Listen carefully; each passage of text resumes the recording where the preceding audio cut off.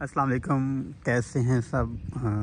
बैरियटों, कराची से आप, मेरा यूट्यूब चैनल बीटी के अपडेट विद शबाज देख। रहे हैं आज की इस वीडियो के अंदर आप देख रहे हैं कि मैं प्रीसेंट अलेवन बी बैरियटों, कराची में मौजूद हूँ। बारिश होने के बाद का ये इन्वायरमेंट है, आप देख सकते हैं कितना हेल्दी इन्वायरमेंट सड़कों के ऊपर आपको पानी नज़र नहीं आ रहा होगा।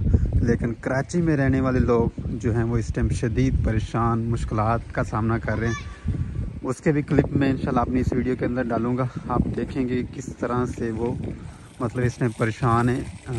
बारिश रहमत होती है, लेकिन उनके लिए जहमत बनी हुई है।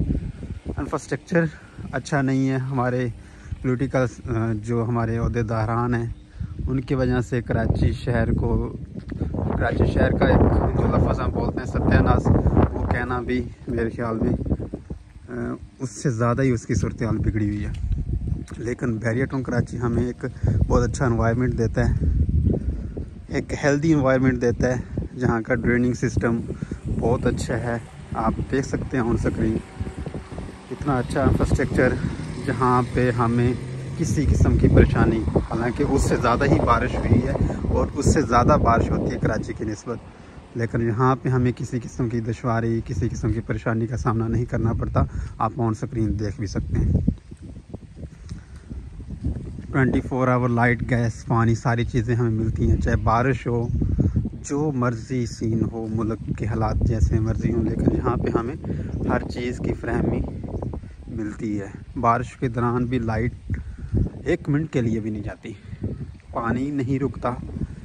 गैस तो अभी सिलेंडर में है, वो भी हमारे पास। अल्हम्दुलिल्लाह, ट्वेंटी फोर आवर्स मौजूद होती है। इन्वायरमेंट आपके सामने सूरज की रोशनी भी आप चेक कर सकते हैं। ये है बैरियर टू कराची।